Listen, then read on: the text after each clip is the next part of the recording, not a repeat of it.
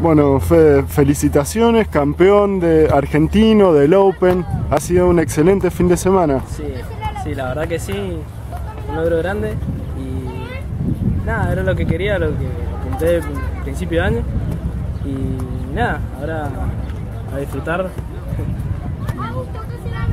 Nada, gracias. Co- contanos cómo fueron las carreras este, este fin de semana. Y este fin de semana fueron peleadas, eh, pero por suerte pude quedar primero. Eh, la pista, la última recta no me ayudaba mucho, la partida tampoco. Remontaba en las, en las rectas más que nada. Y eso es lo que me salvó el fin de semana, así que.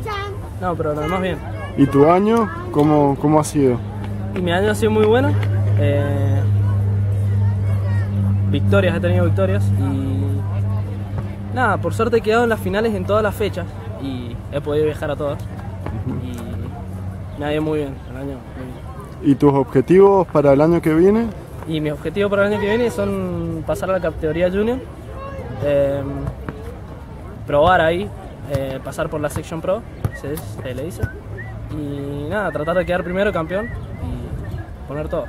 ¿Algún agradecimiento que quieras hacer? Sí, eh, gracias a CrossFit, que me entrena, a Juan Pablo Bruno, JPB Team, y nada, a mis viejos que me bancan.